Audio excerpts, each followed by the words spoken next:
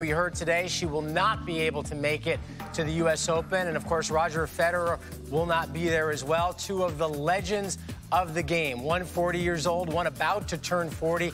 And just look at these numbers the titles 43 Grand Slams, 11 U.S. Open titles between them.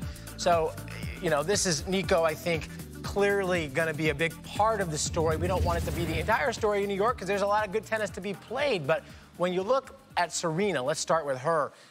She's trying to get that 24th. She's had amazing success in New York, six titles, seven, of course, at Wimbledon. But was New York, did it feel like to you maybe it was her best chance to find that 24th, given it's her home slam? Well, this year, of course, she missed so much tennis the last season going into the French Open that she was gearing towards New York. Her best chance for me was at Wimbledon theoretically, but she was not ready physically because she had not played enough tennis. So she was gearing up in order to get to New York in that best chance situation. The problem is the pressure.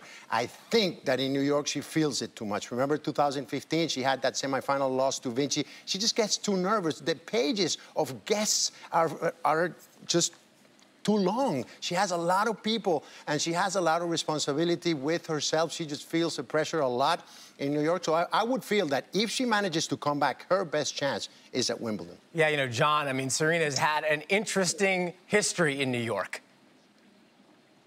Yeah, it, has been a uh, for for 20 plus years now. Um, it, it, has been a textured history. Sometimes there have been some some tremendous highs. I mean, the reason uh, we have a women's final and no Super Saturday, and part of so Venus and Serena can play each other in prime time.